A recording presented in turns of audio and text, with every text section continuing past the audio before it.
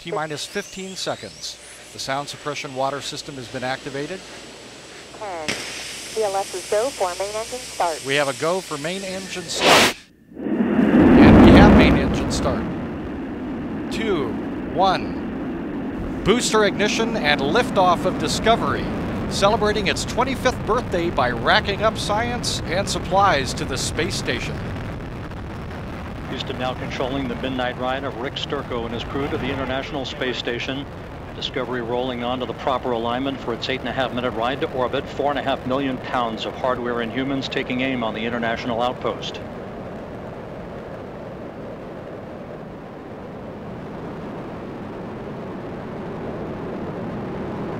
Thirty-two seconds into the flight. The three liquid fuel main engines soon will throttle back to 72% of rated performance down in the bucket, reducing the stress on the shuttle as it goes transonic.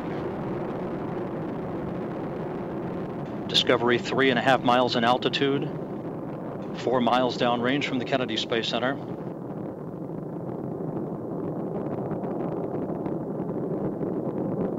Standing by for the throttle up call now from Capcom Eric Boe. Discovery. Copy, go ahead, throttle up. The throttle up call acknowledged by Commander Rick Sturckow, joined on the flight deck by pilot Kevin Ford, flight engineer Jose Hernandez, and Pat Forrester. Seated down on the middeck are Danny Olivas, Christer Fuglesang of the European Space Agency, and Nicole Stott, hitching a ride for three months on the International Space Station. One minute, 30 seconds into the flight. All of Discovery systems performing normally, 17 miles in altitude, 18 miles downrange from the Kennedy Space Center.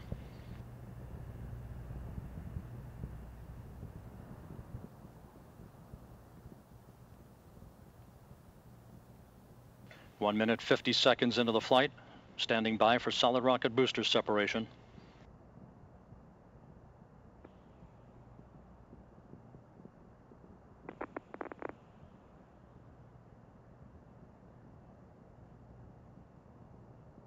Booster officer confirms staging a good solid rocket booster separation. Guidance now converging. The onboard computers steering the shuttle for its precise path to the International Space Station.